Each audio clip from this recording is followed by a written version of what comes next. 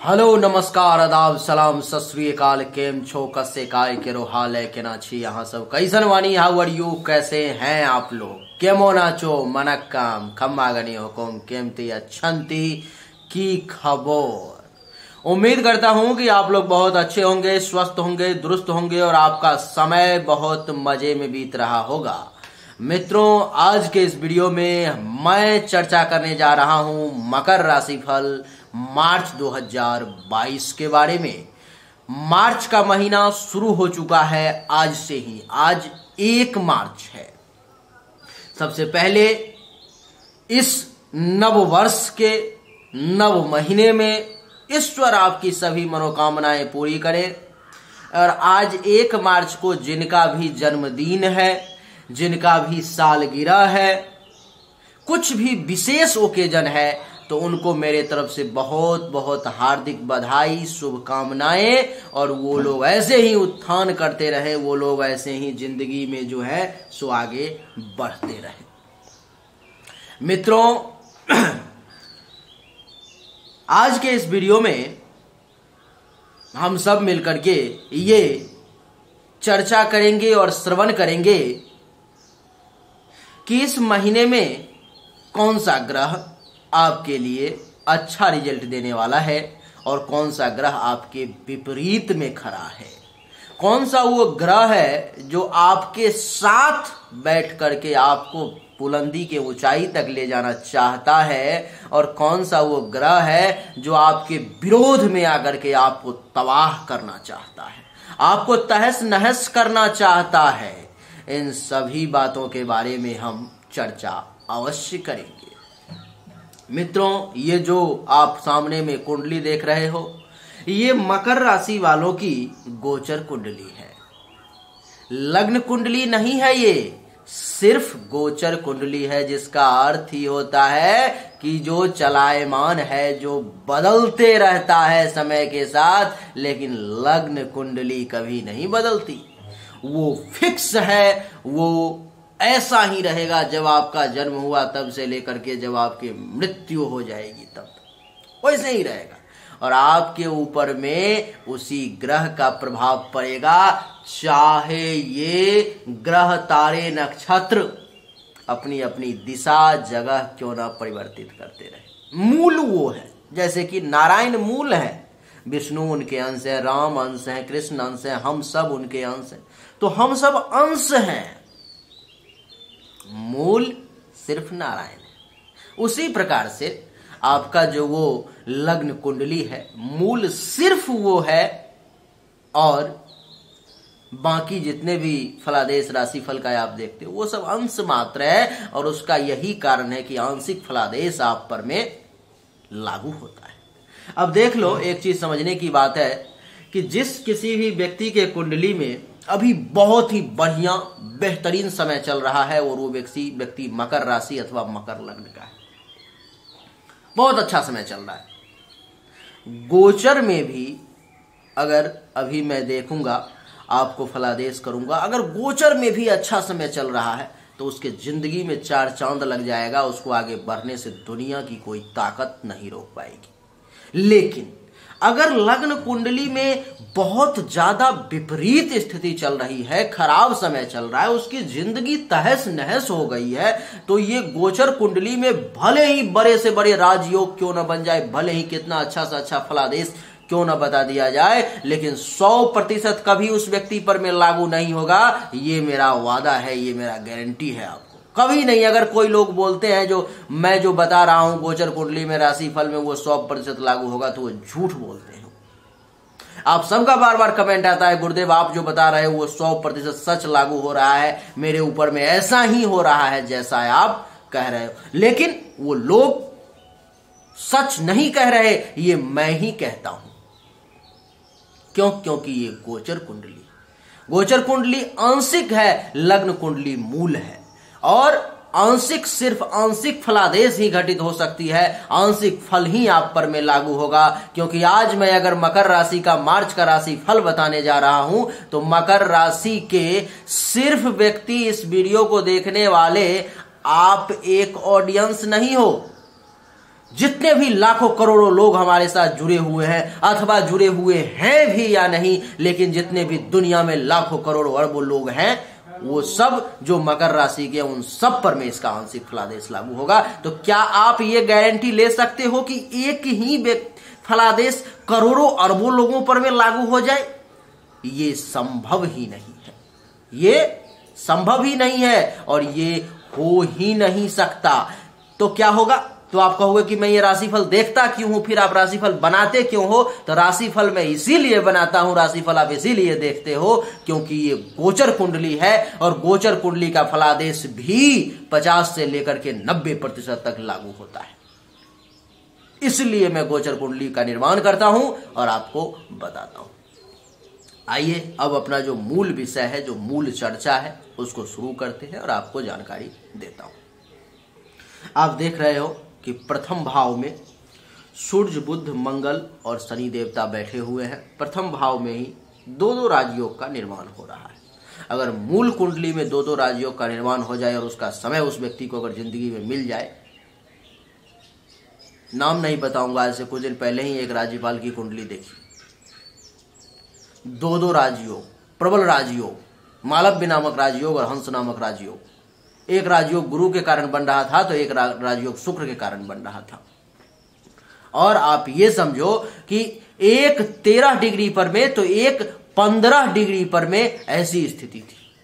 कितना विशिष्ट राजयोग हो गया, ना उसके पास चंद्रमा था, ना सूर्य था, एकदम ना ही किसी पापक ग्रह की दृष्टि थी। इतना मूल त्रिकोण और इतना विशिष्ट राजयोग वो बन गया, उस व्यक्ति को राज्यपाल बना दिया और वो व्यक्ति राष्ट्रपति तक बनेगा। मैंने उनका फलादेश कर दिया है। नाम नहीं बताऊँगा। तो आइए, बताता हूँ आपको। सबसे पहले हम लोग सूर्य से चर्चा आरंभ करेंगे। सूर्य आपके कुंडली में एक मारक ग्रह है। अच्छे ग्रह के तौर पर में नहीं जाने जाएँगे। सूर्य इस कुंडली के अष्टम भाव के मालिक हैं और द्वितीय भाव में बैठे हुए हैं। और तृतीय भाव में बैठे हुए। द्वितीय भाव में चौदह मार्च तक रहेंगे और चौदह मार्च के बाद तृतीय भाव में चले जाएँगे। इसीलिए सूर्य का प्रभाव आपके ऊपर में इस महीने में मकर राशि वाले दो और तीन और आठ और नौ भाव के रिगार्डिंग गलत रिज़ल्ट निगेटिव रिज़ल्ट की आपको प्राप्ति होगी। क्या क्या प्राप्त होगा? तो वो सुन लो। जैसे कि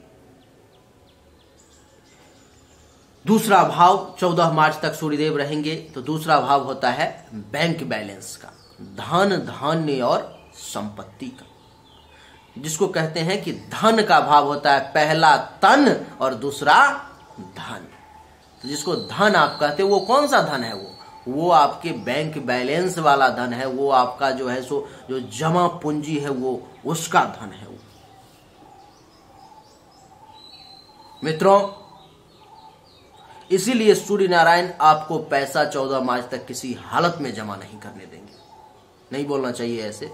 लेकिन अगर मैं आपको खुश करने के लिए कुछ अच्छा बोल दूँगा, अथवा कुछ बुरा बोल दूँगा आपको दुखी करने के लिए तो ज्योतिष विद्या के साथ वो हमारी गद्दारी हो जाएगी और वो गद्दारी हमें कबूल नहीं।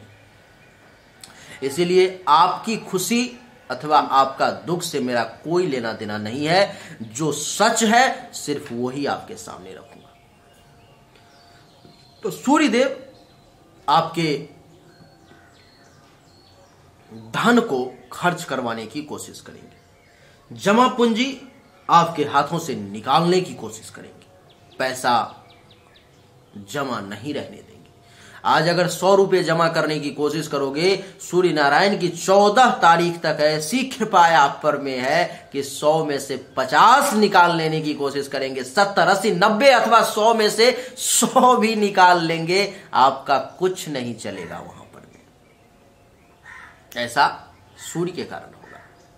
दूसरा भाव, धन के साथ साथ आपके वाणी का भी होता है, जो मैं बोल रहा हूँ। लोग कहते हैं कि आपकी वाणी पर में शुक्र का वास है। जो बात करते हो, वो लग जाती है, लोग आकर्षित हो जाते हैं। अगर आपके वाणी पर में भी किसी शुक्र बुद्ध बृहस्पति, इन सब की दृष्टि हो, अथवा इनमें से कोई भी ग्रह बैठे हो तो आपकी वाणी भी ऐसी होगी जिससे कि अपने आप लोग आकर्षित हो जाएँगे। लेकिन यहाँ पर में उल्टा है। कौन बैठे हुए हैं? तो आपकी वाणी पर में आग बैठा हुआ है। भगवान सूर्य बैठे हुए हैं और सूर्य क्या है? आग है। करवाहट है। अग्नि तत्व है वो। इसलिए आपकी वाणी से आग का आभास होगा। ऐसा लगेगा कि आपकी बातें इतनी करवी हो गई है चौदह मार्च तक कि दिल को चीर दे। किसी को भी अच्छा झूठ नहीं बोलोगे, ये भी तय है। झूठ भी नहीं बोलोगे, क्योंकि सूर्यदेव बैठे हुए हैं वाणी पर भी तो झूठ बोलने नहीं देंगे। लेकिन बोलोगे सच ही, लेकिन ऐसा सच बोलोगे, जो लोगों के दिल को दुखा देगा। कहा गया है कि सत्यंग प्रियंग ब्रियात। यानी कि हमेशा सच तो बोलना चाहिए, लेकिन वो सच बोलना चाहिए, वो सच बोलना चाहिए जो मीठा हो। हमेशा जो है मीठे शब्द का प्रयोग करना चाहिए, क्योंकि एक जगह पर में नींबू का एक किसी भी बड़े पात्र से जो है सो, सौ लीटर नींबू का रस डाल दो और दूसरे जगह पाँच चीनी का दाना डाल दो। तो नींबू के रस के सामने एक भी चीटी नहीं जाएगी लेकिन वो पाँच दाना जो चीनी का रखा हुआ है वहाँ पर में सौ हज़ार चीटी आकर के जमा हो जाएगी। ऐसा क्यों? क्योंकि वो मीठा है। इसीलिए सच बोलेंगे आप निश्चित तौर पे बोलेंगे क्योंकि ये सूर्य नारायण बैठे हुए हैं यहाँ पर में। लेकिन सच करवा बोलेंगे। तीखे शब्द का प्रयोग करेंगे, क्योंकि ये आपके वाणी का भाव है। दूसरा भाव आपके वाणी के साथ साथ आपके परिवार का भी होता है। परिवार अर्थात आपके रिश्तेदार रिश्तेदार अर्थात आपके कुटुंब, जो भी लोग आपसे जुड़े हुए हैं, आपके परिवार के साथ जुड़े हुए हैं, वो सब लोग। और जिसके कारण से जो है, सो, इस समय में, परिवार में भी कलह की स्थिति को सूर्य देवता उत्पन्न करने की कोशिश करेंगे। परिवार में भी टेंशन, तनाव बनाएँगे। दान पुण्य भी करवाएँगे। तीखा और करवा भोजन करने का आप प्रयास करोगे, मसालेदार। आँख से संबंधित अगर किसी भी प्रकार की परेशानी है तो इस समय में वो ज़्यादा परेशान कर सकती है और सावधान नहीं तो पड़ोसी के साथ भी टेंशन तनाव होने का योग बन रहा है। चौदह मार्च तक सूर्यदेव की सातवीं दृष्टि अष्टम भाव पर पड़ेगी, जिसके कारण से जो है, सो कोई छोटा मोटा चोट अथवा एक्सीडेंट भी हो सकता है। अचानक से बनता हुआ काम बिगड़ भी सकता है। रैंडम जो है, आपका लॉस भी हो सकता है, इसलिए सावधान। जिस किसी भी व्यक्ति को बवासीर अथवा पाइल से संबंधित समस्या है, गुदा मार्ग से संबंधित समस्या है, उसकी परेशानी इस समय में बढ़ जाएगी और वो परेशानी उनको ज़्यादा परेशान करेगी चौदह मार्च तक। चौदह मार्च के बाद सूर्यदेव आपके कुंडली के तीसरे भाव में आ जाएँगे, जो चौदह मार्च से पूरे महीने यहीं पे रहेंगे, जो आपके लिए अच्छा नहीं है। जैसे कि तीसरे भाव में आते ही आपके परिश्रम को बढ़ा देंगे, आपके पराक्रम को बढ़ा देंगे, आपके धैर्य को कमज़ोर कर देंगे गुप्त शत्रु को एक्टिवेट कर देंगे, छुपा हुआ दुश्मन आपको ज़्यादा परेशान करने की कोशिश करेगा। आपको मैं बता दूँ कि ये तीसरा भाव आपके गले का होता है, नाक का होता है। सर्दी, जुकाम का भी समस्या कुछ आपके सामने में आ सकता है। इसकी सातवीं दृष्टि नवम भाव पर में, भाग्य का सपोर्ट कम लेने देंगे, धर्म का पालन कम करोगे। तीर्थ यात्रा वगैरह करने में परेशानी का सामना करना पड़ेगा, यश में कमी, ससुराल से टेंशन तनाव का योग बन सकता है। शिक्षा शिक्षा शिक्षा।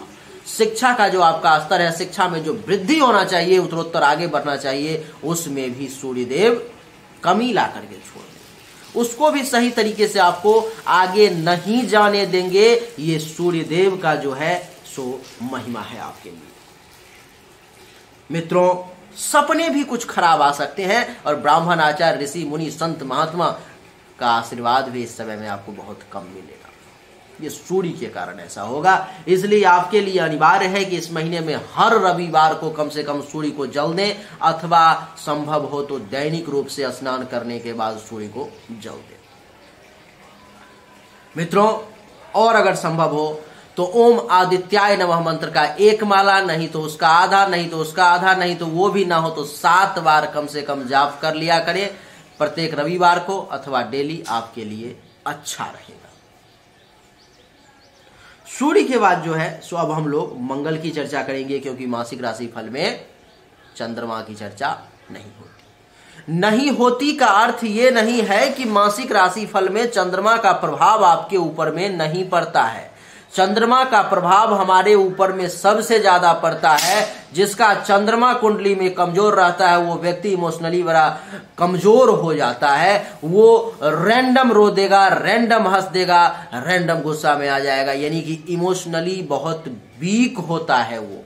लेकिन जिसका चंद्रमा मज़बूत होता है, वो व्यक्ति बड़ा ही जो है इमोशनली स्ट्रांग होता है। तो अब हम लोग मंगल की चर्चा करेंगे। मंगल। मंगल का क्या दिव्य प्रभाव है आपके ऊपर में देख लो। और ऐसे मंगल आपके लिए एक समग्रह है। अच्छा ग्रह नहीं होता है मकर लग्न वालों के लिए मकर राशि वालों के लिए, या खराब भी नहीं होता है। सम का मतलब ही होता है कि बराबर मिला जुला करके चलने वाला। लेकिन ये जो मंगल है आपके कुंडली में, आपके मस्तक पर में ही उच्च का बैठा हुआ है। उच्च का मंगल अगर केंद्र में बैठ जाए एक चार सात दस में तो आपके कुंडली में रूचक नामक पंच महापुरुष राजयोग का निर्माण होता है। मूल रूप से आपको मैं बता दूँ, जितने भी ज्योतिष के छात्र हैं जो सीख रहे हैं, राजयोग पाँच प्रकार के ही होते हैं मूल रूप से। वैसे तो हज़ारों प्रकार के आपके सामने में आ जाएँगे। लेकिन मूल रूप से पाँच प्रकार के ही राजयोग होते हैं, जिसको कहा गया है पंच महापुरुष राजयोग। इसीलिए मंगल देवता के कारण आपके कुंडली में एक राजयोग बन रहा है। वो क्या है? रूचक नामक राजयोग। मंगल देवता इस महीने में अपने राजयोग का पूरा परिणाम आपको देने की कोशिश करेंगे। जैसे में क्या? तो मस्तक पर में विराजमान है। तो मानसिक रूप से बड़ा मज़बूत बनाने का आपको प्रयास करेंगे। बहुत स्ट्रांग दिमागी तौर पर में आपसे ज़्यादा स्ट्रांग अभी व्यक्ति आपको नज़र ही नहीं आएगा। आप इतना क्विक और सही एक्शन डिसीज़न लेने में सक्षम हो जाएँगे कि दूसरा आपके सामने टिक नहीं पाएगा। आपके बुद्धि विवेक का भी भाव, क्योंकि मस्तक का ही भाव पहला होता है तो विवेक का भाव तो पहला होगा ही। तो विवेक का सहारा आप इतना मजबूती के साथ लेंगे, इतना बेहतरीन तरीके से विवेक का इस्तेमाल करेंगे कि लोग देख करके सन्न रह जाएँगे। सन मतलब आश्चर्यचकित हो जाएँगे। इसीलिए मंगल देवता आपके विवेक में वृद्धि करेंगे। आपके कैरेक्टर को भी बढ़िया बना करके रखने का प्रयास करेंगे। शील स्वभाव भी बड़ा बढ़िया रहेगा। लेकिन एक चीज़ बता दूँ कि विनम्रता का भाव भी पहला ही होता है, लेकिन मंगल देवता आपको विनम्र नहीं रहने देंगे। क्यों? क्योंकि मंगल देवता आग है। अग्नि है मंगल देवता। और अग्नि है मंगल देवता तो मंगल देवता अग्नि होकर के कहा बैठे हुए हैं? तो आपके मस्तक पर में। मस्तक पर में अगर गुस्सा को बैठा दिया जाए तो क्या होगा? हर वक्त गुस्सा आएगा। तो जिसके कारण से जो है विनम्रता में आपकी निश्चित तौर पर में मंगल देवता कमी ला देंगे। बड़ी मार्मिक बात बता रहा हूँ। अच्छा पहला भाव जो होता है आपके गर्व का भी होता है। कुछ ज़िंदगी में ऐसे काम कर लिए जिसके कारण से परिवार वाले लोग खुद भी जो है आप पर में गर्व करते रहते हैं। कुछ ऐसा कर लिए जिसके कारण से जब बुढ़ापा भी आ जाता है, तब भी लोग कहते हैं, अरे, मैं तो उस समय में ये कर देता था। यानी कि उनको उस बात पर में गर्व है। उनके मन में ये है कि मैंने जो ये काम किया है, ये कोई साधारण काम नहीं है, ये बहुत ही विशिष्ट काम ये भाव उनके मन में आ गया। अर्थात उनको इन बातों पर में गर्व है। गर्व है तो वही गर्व करने लायक काम इस महीने में मंगल देवता के राजयोग के कारण गोचर का फलादेश ये कहता है कि आप भी करेंगे। मित्रों, ये जो भाव है, पहला कहा जाता है कि पहला भाव तन का होता है। यानी कि हमारे शरीर का। शरीर के अलग अलग पार्ट का भाव अलग अलग होता है। लेकिन तन शरीर का भाव जो है, सो पहला होता है। पहला, जिसके कारण से तन, यानी कि शरीर को मंगल देवता स्वस्थ रखने का प्रयास करेंगे। शरीर को मंगल देवता जो है, सो बहुत ही मज़बूत बनाने का प्रयास करेंगे। मंगल के समान जो है स्ट्रांग और ताकतवर आपका शरीर इस महीने में महसूस होगा। मंगल की मित्रों, मूल रूप से वैसे तो और भी दृष्टियाँ होती हैं, लेकिन मूल रूप से पूर्ण दृष्टि तीन ही होती है। चार सात और आठ। तो मंगल की चतुर्थ दृष्टि अपने ही राशि पर पड़ रही है। यानी कि आपका जो कुंडली का जो चौथा भाव है, वहाँ पर में एक लिखा हुआ है, आप देख रहे हो। एक लिखा हुआ है, अर्थात वो घर मेष राशि का हो गया और मेष राशि का हो गया तो इसका अर्थ ये हो गया कि उसके स्वामी मंगल हो गए। अपनी दृष्टि अपने घर पर अगर कोई व्यक्ति डालता है तो वो उसको कितना सुरक्षित रखेगा कितना वृद्धि करेगा इसको कहने की आवश्यकता नहीं अगर आप कहीं दूसरे जगह पर में बैठे हुए हो और आपका नज़र जो है सो आ, है अपने ही घर पर में अपने दरवाजे पर में अपने रूम को देख रहे हो तो आपका क्या होगा? कि वहाँ पर से अगर कोई चोर एक सिक्का भी ले जाना चाहेगा तो आपकी दृष्टि उस पर पड़ जाएगी और आप उसको नहीं ले जाने दोगे। ये कैसे होगा? तो ये मंगल देवता के कारण होगा, आपके कारण होगा। और वही बात जो है यहाँ पर में पड़ेगी, यानी कि मंगल की दृष्टि जो है, सो आपके कुंडली के चौथे भाव पर में पड़ेगी। चौथे भाव पर में पड़ेगी तो मंगल देवता क्या करेंगे? आपको ज़मीन दिलवाने की कोशिश करेंगे, क्योंकि चौथा भाव जो है, सो ज़मीन का होता है। नहीं? या तो ज़मीन खरीदने की प्लानिंग कर सकते हो, या ज़मीन खरीद भी सकते हो, अथवा जो ज़मीन पहले से है, उसी का उपभोग करोगे, उसका सुख प्राप्त करोगे।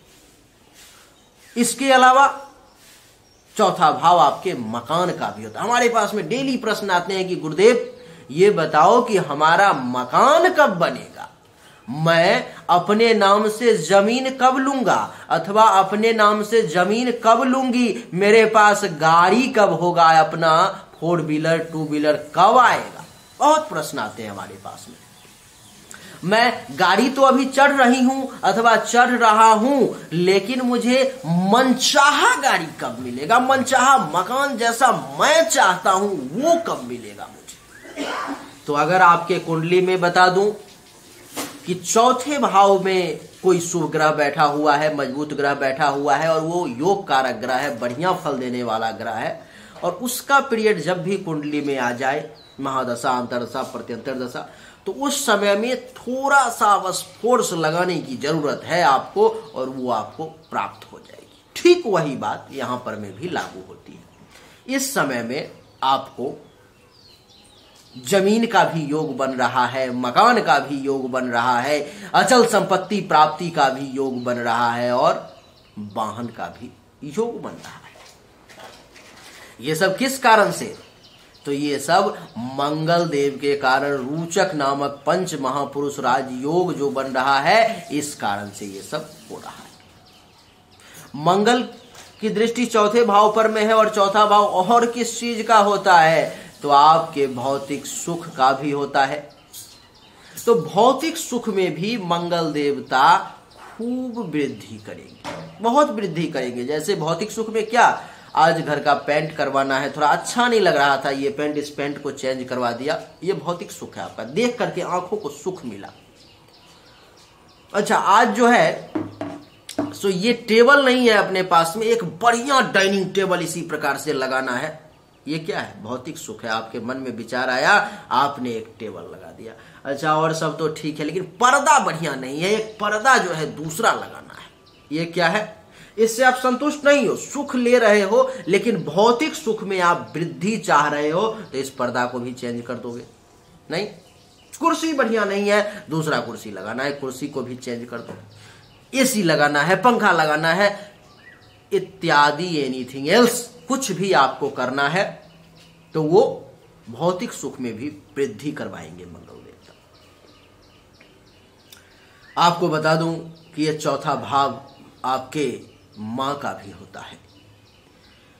अगर आपकी माता कहीं किसी जगह पर में काम करती हैं, किसी पद पर में है तो ये मान करके चलो कि उनको भी विशेष मान सम्मान, इज़्ज़त प्रतिष्ठा आपके भाग्य से मिलने जा रहा है। अगर वो कोई काम नहीं करती हैं और स्वस्थ हैं। तो इस समय में आप ये मान करके चलो कि उनको स्वास्थ्य लाभ मिलेगा और वो शारीरिक तौर पर में कुछ राहत महसूस करेंगे। मंगल की सातवीं दृष्टि आपके सप्तम भाव पर। सातवां भाव किस चीज़ का होता है? आपके विवाह का होता है। आपका विवाह कब होगा? किस समय में होगा? कैसे पति मिलेंगे? कैसी पत्नी मिलेगी? क्या विवाह के बाद आपके जीवन में कोई बहुत बड़ा बदलाव हो जाएगा? क्या आपका विवाह लंबे समय तक टिकेगा अथवा कुछ ही समय बाद टूट जाएगा? क्या पति पत्नी के बीच में संबंध बहुत बढ़िया नहीं रह पाएगा? इन सब का विचार सातवें भाव से ही करते जन्म कुंडली में अगर कोई भी पापक ग्रह आपके साथ में भाव में बैठा हुआ है, कोई भी मारक ग्रह आपके साथ में भाव में बैठा हुआ है, जो आपके लिए अच्छा फल देने वाला है ही नहीं तो आप ये मान करके चले कि अगर जन्म कुंडली के सप्तम भाव में शनि, राहु, केतु अथवा कोई भी मारक ग्रह बैठा हुआ है अथवा उसकी दृष्टि है तो वैवाहिक जीवन में मूल रूप से आपको निश्चित तौर पर में वो परेशान करेगा। ये सामान्य बातें हैं। यहाँ पर में क्या है कि मंगल रूचक नामक पंच महापुरुष राज योग बना रहा है और मंगल की सातवीं दृष्टि सप्तम भाव पर में है और सातवां भाव जो है, किस चीज़ का होता है हमने आपको बता दिया, लेकिन यहाँ पे निगेटिव फलादेश नहीं है। ऐसा नहीं है कि मंगल लग्न में बैठ गया, प्रथम भाव में बैठ गया तो मांगलिक दोष बन गया तो अब तो इस व्यक्ति के जीवन में विभिन्न प्रकार की परेशानी आ जाएगी। कदापि नहीं आएगी परेशानी। यहाँ पर में मांगलिक दोष भी लागू नहीं होगा। यहाँ पर में रूचक नामक पंच महापुरुष राजयोग बढ़ गया जो सभी दोषों का अंत कर देगा, मंगल से संबंधित। मंगल की सातवीं दृष्टि सप्तम भाव पे पड़ गई। आपके विवाह का भी योग बन गया और इस महीने में अगर आपकी कहीं पर में बातचीत चल रही थी फाइनल नहीं हो पा रही थी, इस महीने में थोड़ा सा प्रयास करोगे, आपकी विवाह फाइनल हो जाएगी, आपकी बातें आगे बढ़ जाएगी। बहुत लोगों का ऐसा तो होगा कि उनका विवाह ही इस महीने में हो जाएगा। बहुत लोगों का जिनका विवाह हो चुका है, उनको जीवन साथी का सुख प्राप्त वैवाहिक जीवन का आनंद ले पाएँगे। वैवाहिक जीवन यानी कि दाम्पत्य जीवन अच्छा बीतेगा। पति पत्नी के बीच के संबंध को भी मंगल बढ़िया रखने का प्रयास करेगा। ये जो सातवां भाव है, आपके दैनिक रोज़गार और व्यवसाय का भी होता है। दैनिक रोज़गार, अर्थात जहाँ से आपको डेली का इनकम है। जहाँ पर मैं रोज कुछ पैसा लगाया, रोज कमाया इस प्रकार के जो लोग हैं और मकर राशि के हैं तो मंगल उनको सपोर्ट करेगा। दैनिक रोज़गार के क्षेत्र में आपकी उत्तरोत्तर वृद्धि करेगा, आपके व्यापार को आगे बढ़ाएगा और आप कुछ और पैसा, कुछ और पैसा, कुछ और पैसा कमाने लगेंगे। ये सातवां भाव आपके प्राइवेट पार्ट का भी होता है। अगर आपको गुप्त पार्ट से संबंधित किसी भी प्रकार की कोई परेशानी से आप जूझ रहे हो कुछ भी परेशानी है आपकी तो मंगल देवता के कारण उससे संबंधित परेशानी में आपको राहत देखने को मिलेगी और आप बेहतर महसूस करेंगे। ये जो सातवां भाव है, वैसे तो दुश्मन का भाव छठा होता है, लेकिन वो दुश्मन है सिर्फ़, वो सिर्फ़ शत्रु है, लेकिन सातवां भाव आपके प्रत्यक्ष शत्रु का होता है। जो दुश्मन आपसे सामने से टकराने की हिम्मत रखता है, जिसके कलेजे में इतनी ताकत है कि आपके सामने आकर के वो टकरा सके, उस दुश्मन का भाव सातवां होता है। जैसे कि, चलो छोड़ो। तो उस प्रकार के दुश्मनों से भी टकराने की क्षमता आपकी इस समय में बढ़ जाएगी और वो दुश्मन भी आपका बाल भी बांका नहीं कर पाएगा। कहा गया है कि जाके राखे साइया, मार सके न कोई, बाल न बांका कर सके जो जग बैरी हो। पूरा दुनिया भी अगर बैरी हो जाए, और जिसके कुंडली में ऐसा ऐसा राजयोग बन गया जिसको भगवान तैयार हो गए, ग्रह तैयार हो गया, देवता तैयार हो गए प्रत्यक्ष, उसको दूसरा कौन क्या बिगाड़ सकता है? संभव ही नहीं है, सवाल ही पैदा नहीं होता। उसी प्रकार से अभी आपके ऊपर में मंगल देवता पूर्ण रूप से हावी है और विराजमान है पंच महापुरुष राजयोग में से रूचक नामक राजयोग को लेकर के। तो जिसके कारण से आपका कोई कुछ एक बाल भी बांका नहीं कर पाएगा, ये मेरा गारंटी है आपको। इसलिए घबराने की ज़रूरत नहीं। अब इसका अर्थ ये नहीं कि आप आप किसी से जाकर के टकराना शुरू कर दो, लड़ना शुरू कर दो, झगड़ना शुरू कर दो, तब तो आप जब गलत करना शुरू करते हो तो आपका वरदान भी छीन हो जाता है और आपको उसका निगेटिव परिणाम भुगतना पड़ जाता है। ऐसे बहुत एग्ज़ाम्पल है। मंगल की आठवीं दृष्टि अष्टम भाव पे पड़ रही है। इस समय में तो वैसे विश्व युद्ध की स्थिति चल रही है। हर तरफ़ दुनिया त्राहिमाम त्राहिमाम का पुकार लगा रहा है। कल ही मैं देख रहा था एक किताब में था कि शनि और मंगल की जब युति आएगी जब युति होगी तो दुनिया में भयंकर युद्ध का आगाज़ हो जाएगा। कल ही देख रहा था हो सकता है तो आ, मैं अब नहीं हो पाएगा, यहाँ पर मैं तो मैं आपको दे नहीं पाऊँगा, क्योंकि उसमें फिर बहुत समय लग जाएगा। लेकिन कल ही मैं ये देख रहा था कि मंगल और शनि की युति होगी और भयंकर युद्ध का आगाज़ हो जाएगा। और आज वही स्थिति है, हमारे पूर्वाचार्यों ने पहले ही ज्योतिष के महान विद्वानों ने, दैवज्ञों ने पहले ही लिख दिया कि मंगल और शनि की युति होगी। वैसे मैं इसको कम्युनिटी में डाल दूँगा, आप जाकर के देख लेना वहाँ पर भी। कि भयंकर युद्ध का आगाज़ हो जाएगा। और आज वही स्थिति है यूक्रेन में और रूस में। भयंकर युद्ध की स्थिति छिड़ी हुई है और ये युद्ध कहीं और ज़्यादा विपरीत स्थिति न उत्पन्न कर क्योंकि मंगल और शनि की युति बन चुकी है यहाँ पर में, जो उस देश के लिए बढ़िया नहीं है उसके लिए। अष्टम भाव पर में दृष्टि पर रही है तो कुछ विदेश से जिनका कारोबार चलता है, उनको ये मंगल फ़ायदा पहुँचाने की कोशिश करेगा। उनको विदेश में रहने वाले लोगों को अब जहाँ पर में विश्व युद्ध चल रही है, जहाँ पर में भयंकर युद्ध का आगाज़ हो चुका है, वहाँ पर में क्या ही फ़ायदा होगा। लेकिन उसके अलावा जहाँ भी जो लोग होंगे, जान बच गई वैसे जगह पर में तो कम फ़ायदे वाली बात नहीं है। उसको घाटे का सौदा नहीं कहेंगे। तो आपके लिए जो है ये बड़ा ही उत्तम और बहुत ही अच्छा जो है संकेत रहे। तो मंगल के लिए आपको किसी भी प्रकार के उपाय की आवश्यकता नहीं है। मंगल आपके लिए हर मामले में बढ़िया रिज़ल्ट देने वाला है। बुद्ध का भी हाल कुछ ऐसा ही है। बुद्ध छह मार्च तक आपके कुंडली के प्रथम भाव में रहेंगे, जो आपके बुद्धि को बड़ा ही स्ट्रांग बना करके रखेंगे, दिमाग को बहुत तेज बना करके रखेंगे और सातवीं दृष्टि इनकी सप्तम भाव पर में तो पति पत्नी के संबंध को भी अच्छा बनाने का प्रयास करें। छह मार्च के बाद बुद्ध चले जाएँगे दूसरे भाव में, आपके वाणी पे बैठ जाएँगे। वाणी पर में बुद्ध देवता जैसे ही बैठे, बस आप मृदुभाषी बन गए। अब एक तरफ़ देख लो, मैंने अभी अभी बताया है कि सूर्य देव आपके वाणी में आग घोल देंगे और आप इतने करवे शब्द का प्रयोग करोगे कि लोगों का दिल चीर दोगे। दूसरे तरफ़ मैं ही कह रहा हूँ कि बुद्ध बैठ जाएगा छह मार्च के बाद वाणी में मीठापन ला देगा। अब आप कहोगे कि ये कैसी बहकी बहकी बातें कर रहे हो? आप एक तरफ़ कह रहे हो कि बाणी बड़ी तीखी हो जाएगी, दूसरी तरफ़ कह रहे हो कि बाणी मीठी हो जाएगी। ये क्या बकवास किए जा रहे हो आप?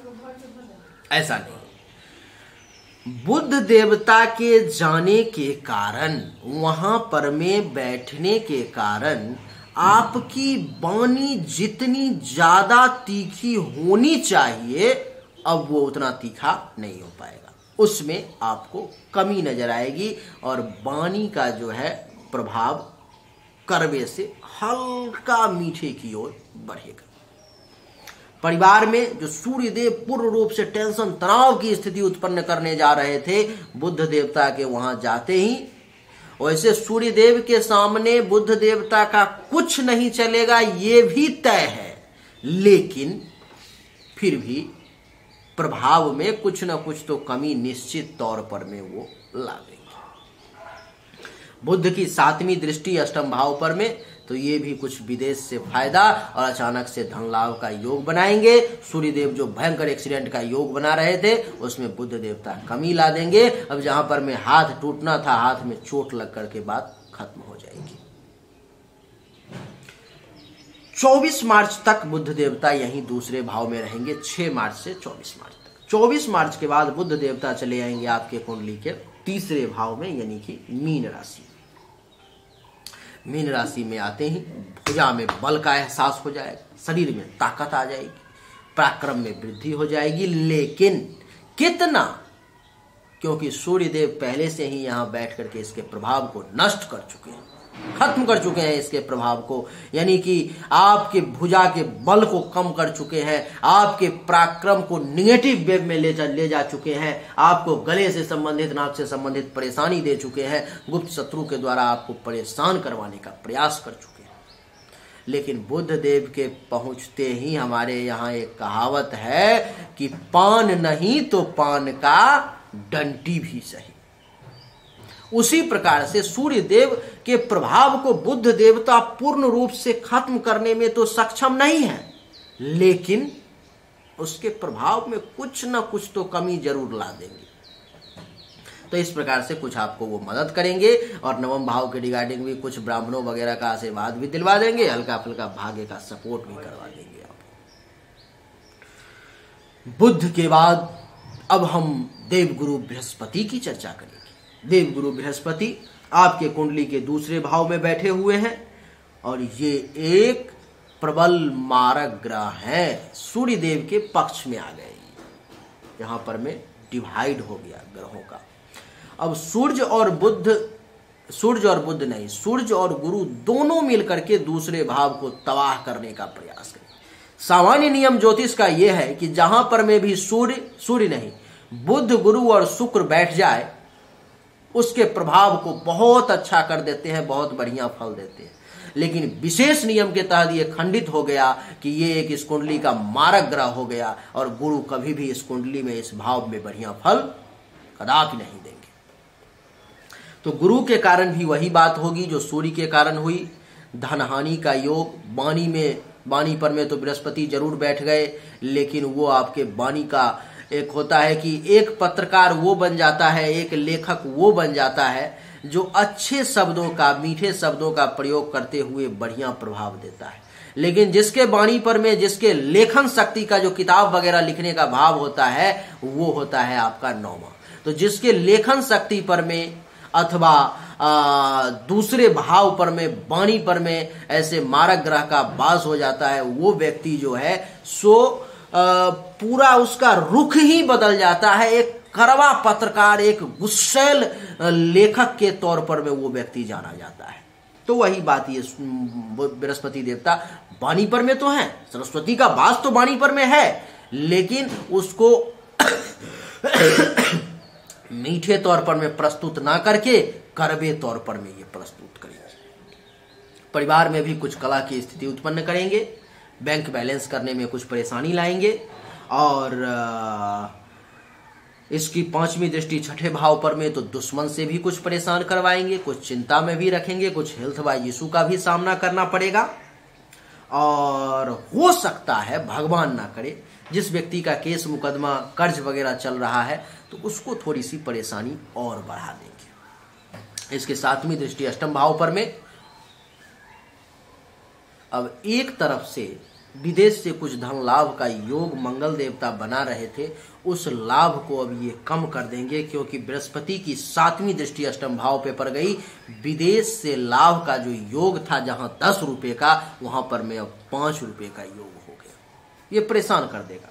और गुरु की नौवीं दृष्टि दसम भाव पर में तो पिता के साथ जो है कुछ टेंशन तनाव का योग बन जाएगा। पिता से कुछ मतभेद की स्थिति उत्पन्न हो जाएगी।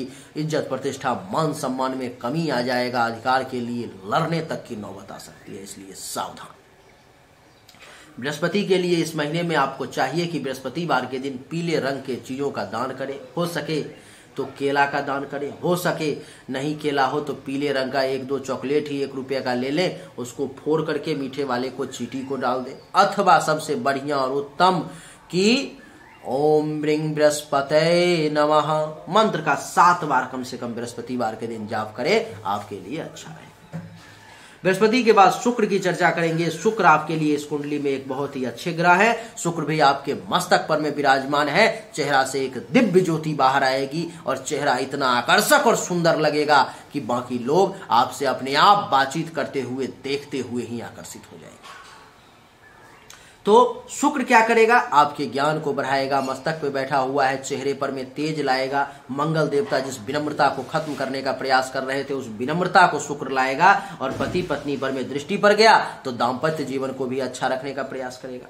शनि क्या करेगा? तो शनि भी इसमें सस नामक पंच महापुरुष राजयोग का प्रथम भाव में निर्माण कर रहे हैं, जिसके कारण से ये भी बुद्धि विवेक को बड़ा स्ट्रांग करने की कोशिश करेंगे। शनि की तीसरी दृष्टि तीसरे भाव पर में। तो अब सूर्य देव जो आपके पराक्रम को निगेटिव वे में ले जाने की कोशिश कर रहे थे, शनिदेव उसको पॉजिटिव में लाने का हर संभव प्रयास करेंगे। शनिदेव आपके गले से संबंधित, नाक से संबंधित परेशानी को भी दूर करने का प्रयास करेंगे। और सूर्य देव जो आपके गुप्त शत्रु को एक्टिवेट करके आपको भीतर ही भीतर बड़ा परेशान करवाने की कोशिश कर रहे थे शनि देवता उस गुप्त शत्रु का ही नाश कर देंगे। उसका कुछ चलने ही नहीं देंगे। वो साजिश करते करते मर जाएगा, लेकिन आपका बाल भी बांका नहीं कर पाएगा। शनि की सातवीं दृष्टि सप्तम भाव पर में जिसके कारण से ये भी आपके विवाह का योग बनाएँगे। इस महीने में आपके विवाह का प्रबल योग बन रहा है। तीन तीन, चार चार ग्रह आपके विवाह के योग बना रहे हैं। तो या तो कहीं बातचीत फाइनल हो जाएगी, या बात आगे बढ़ेगी, अथवा डेट फाइनल हो जाएगा, या विवाह ही हो जाएगा। तो ये शनिदेव के कारण ऐसा होगा दाम्पत्य जीवन को भी बढ़िया रखने का प्रयास करेंगे और शनिदेव की दसम दृष्टि जो है, दसम भाव पर में जो लोग सरकारी नौकरी की तैयारी कर रहे थे, शनिदेव की विशेष कृपा उन पर में भी लागू होगी और सरकार से प्रबल लाभ का योग बन जाएगा। इस समय में अगर कोई एग्ज़ाम दे रखा है, इंटरव्यू दे रहे हो, कुछ भी ऐसा कर रहे हो, रिज़ल्ट आने वाला है और जन्म कुंडली में अगर सरकारी नौकरी का योग है, राजयोग है तो शनिदेव का सपोर्ट मिल गया और आपको यहाँ पर में सरकारी नौकरी क्लियर करने से कोई नहीं रोक सकता। तो शनिदेव के लिए किसी भी प्रकार के उपाय को करने की आवश्यकता नहीं है। हर मामले में शनिदेव आपको बढ़िया रिज़ल्ट देने वाले हैं। शनि के बाद अब राहु और केतु। राहु आपके कुंडली के पंचम भाव में उच्च के बैठे हुए हैं। पुत्र प्राप्ति का तो अवश्य योग बना रहे हैं राहु, लेकिन अगर इस महीने में किसी का डिलीवरी होने वाला है मकर राशि का व्यक्ति तो उसको संतान प्राप्ति में ज़्यादा परेशानी का सामना करना पड़ेगा, ज़्यादा कष्ट का सामना करना पड़ेगा, उसका पैसा भी माइनस में जा सकता है, बहुत खर्चा हो सकता है। और दूसरे मामले में राहु फ़ायदा ज़रूर देगा, लेकिन पेट से संबंधित परेशानी देगा। और आपको मैं बता दूँ कि यहाँ पर मैं कुछ आपको डैमेज करेगा। अचानक से धनहानि भी करवा देगा। पांचवी दृष्टि इसकी एक, दो, तीन, चार, पाँच ससुराल के घर से थोड़ा टेंशन तनाव भी बना देगा। धर्म कर्म से थोड़ा विश्वास को कम करेगा वैसे उच्च का है, बहुत ज़्यादा डैमेज नहीं करेगा, लेकिन थोड़ा थोड़ा करेगा। और सातवीं दृष्टि एकादश भाव पर में तो कुछ लाभ भी दिलवाएगा, कुछ उपलब्धि की प्राप्ति भी करवाएगा, मनोकामनाओं की पूर्ति भी करवाएगा। राहु की जो नौवीं दृष्टि है आपके मस्तक पर में तो दिमाग में युक्ति और जुगाड़ वाली आइडियाज़ जो है ये बहुत देगा। जो लोग फ़िल्म लेखन वगैरह का काम करते थे, जो लोग फ़िल्म वगैरह लिखने की सोच रहे थे अथवा कुछ भी मूवी से संबंधित कैरेक्टर लिखने का उनके लिए बड़ा मदद करेगा। केतु भी उच्च का एकादश भाव में बैठा हुआ, ये भी बहुत बढ़िया रिज़ल्ट देगा। आपके लाभ में वृद्धि, आय में वृद्धि, मनोकामनाओं की पूर्ति, इच्छाओं की पूर्ति सीनियर्स का सपोर्ट पुत्र दामाद का सुख भी दिलवाएगा। और पंचम दृष्टि एक, दो, तीन, चार, पाँच, तीसरे भाव पर में जूनियर्स का भी कुछ सपोर्ट दिलवाने की कोशिश करेगा। सूर्य के प्रभाव को भी कम करने का प्रयास करेगा। और गुप्त शत्रु से भी परेशान ना कैसे हो, ऐसा जुगाड़ आपके दिमाग में ये डालेगा। इसकी जो सातवीं दृष्टि है, वो पंचम भाव पर में। तो संतान से सुख भी दिलवाएगा, विद्या बुद्धि की प्राप्ति भी करवाएगा। और नौवीं दृष्टि जो है, सप्तम भाव पर में, लीजिए, यहाँ से भी आपके विवाह का योग बन गया। बोलिए, राधे राधे। लेकिन योग तो बना, लेकिन इस योग में ये थोड़ा सा परेशानी उत्पन्न कर देगा। अंगुली ऐसे नहीं, ऐसे कर देगा, टेढ़ा कर देगा, आपके लिए परेशानी का कारण। तो यही आपके लिए मकर राशि वालों के लिए वीडियो था, जो बड़ा डिटेल में प्रेम से, शौक से हमने आपको बताया इस वीडियो को तैयार करने में। हमारा सात से आठ घंटे का समय जाता है, आप जानते ही हो। अगर आपको हमारा ये वीडियो अच्छा लगा, अगर अच्छा लगा, सच्चाई नज़र आई, हमारी मेहनत आपको पसंद आई तो आप इस वीडियो को लाइक करें शेयर करें चैनल को सब्सक्राइब करके इसके बेल आइकन के बटन को दबा दें। एक बार फिर से आप सभी का बहुत बहुत धन्यवाद। Thank you thank you so much जय हिंद बंदे मातरम। बोलिए राधे राधे।